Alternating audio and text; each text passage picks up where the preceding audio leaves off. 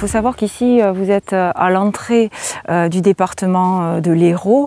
Donc ce moulin sur la colline des Trois Vents est érigé comme un phare qui marque symboliquement l'entrée dans ce département et on est à l'extrême ouest.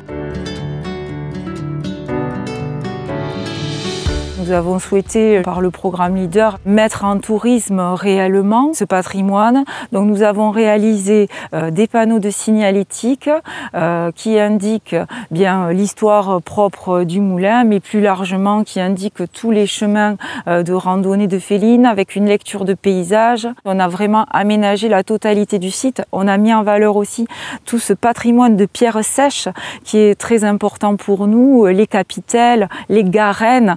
Il y a également un sentier botanique euh, autour du moulin et on a réalisé également un dépliant euh, qui euh, reprend tout ce patrimoine paysager de la commune.